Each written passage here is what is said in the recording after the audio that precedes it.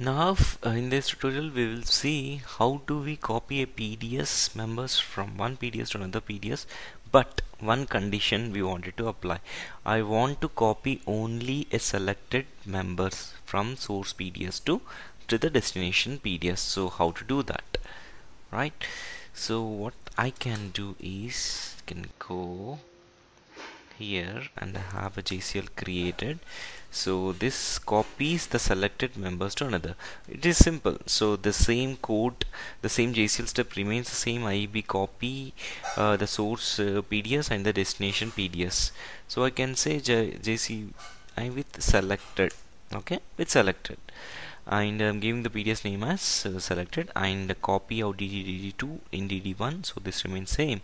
But we give another keyword called select member and the member's name you wanted to copy. So earlier it copied all the PDS member that exist in the source PDS now it will copy only these particular members to the destination PDS submit so it ended with 0 then I can go here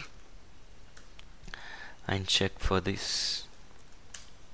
Okay so it has created a PDS and also copied the new PDS member to this PDS